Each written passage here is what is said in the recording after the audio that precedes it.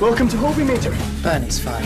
If you're sticking around, then I assume someone of your frustrating ability will be looking for some employment somewhere.